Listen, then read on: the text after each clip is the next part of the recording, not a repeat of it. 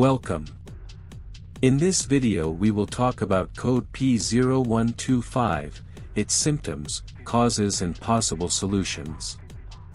The P0125 trouble code indicates that the engine does not reach the required temperature for efficient closed-loop fuel control within a specific time frame after starting.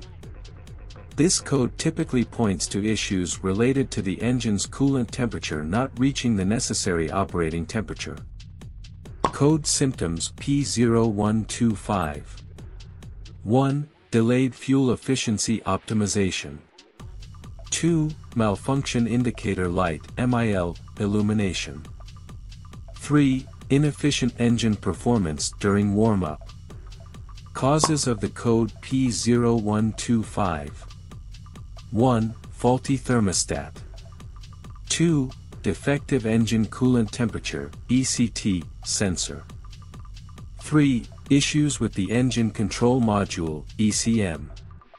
Code Solutions P0125 1. Replace the thermostat if it is malfunctioning.